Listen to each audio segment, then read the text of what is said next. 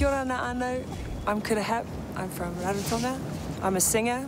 I play in a band called Triggerfish. And we play all over the island, but I really love being in the water. Yeah, it's my happy place. Today we're gonna catch an eke. An eke is an octopus, so come with me.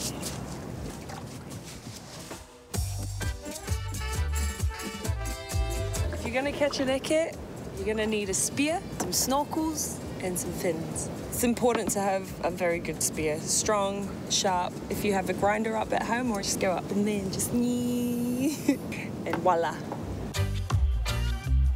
So to find an eke, you just have to find disturbed rocks on top of a coral. Basically, you just have to keep looking because they're quite hard to find. It's not easy, it'll take a while, but it's good fun. I don't know how to cook the eke. I usually just catch it and give it to my grandma. So today we're gonna go to her house and she's gonna cook it up for you. Here's the eke we caught today.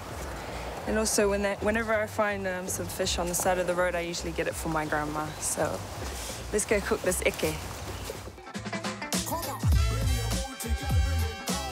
My beautiful Nana. she will be the master chef today. She knows nothing. Come on. How are we cooking it today, Nana? In a pot. Boiled octopus with coconut sauce. You have to beat it up first, beat the daylight out of it. Why did you laugh?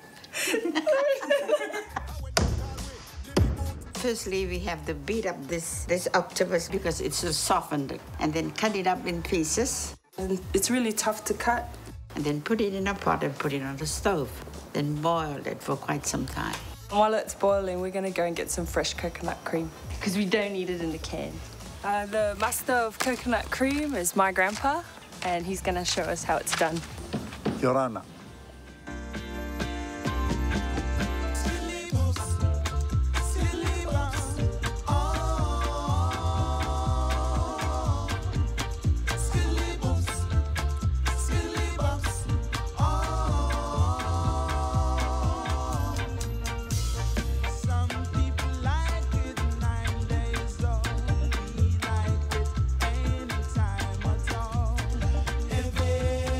Now we've got all the water out. We have to put first turn the oven on.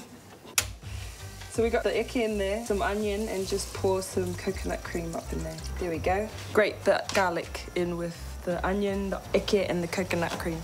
This is a challenge for me, guys. Dangerous for my fingers. Turmeric in, then you stir it. Add some salt, stir it up. Garden. Apa Erwi? Well done, mantu. Yeah, me, it's a guy. Eh, it's-